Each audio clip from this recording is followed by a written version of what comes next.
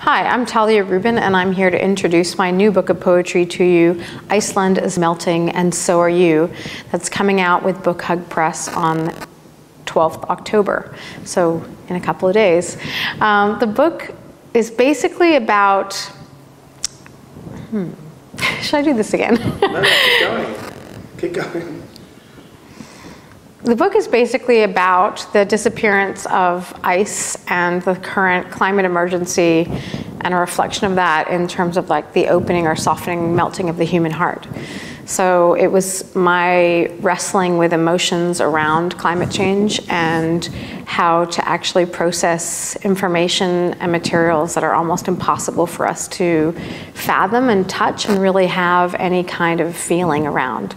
I guess it came out of like the, the main impetus for the book was I was reading an article about the disappearance of, well, basically the bleaching of the coral reef in the Great Barrier Reef. And I just found that such an emotional thing. As soon as I heard about that, I just felt, I found myself in this state of real grief about it. And I realized that I was not really processing what was going on around us and because of us.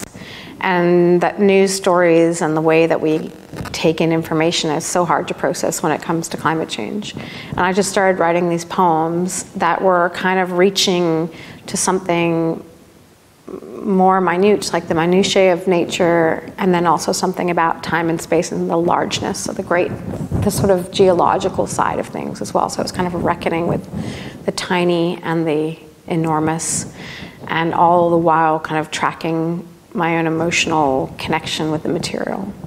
Hopefully, it is intense, but also a celebration of humanity, even while we are able to acknowledge our limitations and mistakes and what we're losing, and a celebration of the natural world as well, and a love for the planet. Okay, I will just read one poem from the book. It's the first poem. It's called The Snow Queen.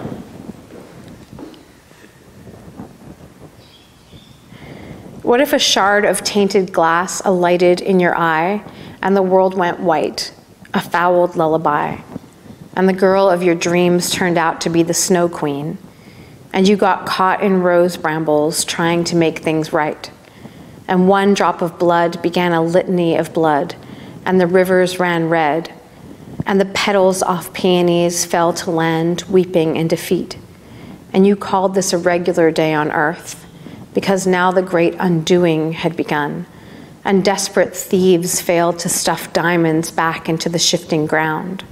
And the thunder of collapse was so deafening it overtook the traffic, like the crackle of bushfire ripping through pine plantations, screaming through ancient stands of forest. And the tumble of glaciers and ice floes went unnoticed, except their distant rumble was everywhere in our veins and the highways that crisscrossed LA like snakes stood still, their twisted bodies a monument to a chrysanthemum's dead headed gaze, and buses shuttled empty, their ghost passengers staring out ghost windows onto ghost streets, at the world we made and unmade, made and unmade, until it made us, finally made us into who we are.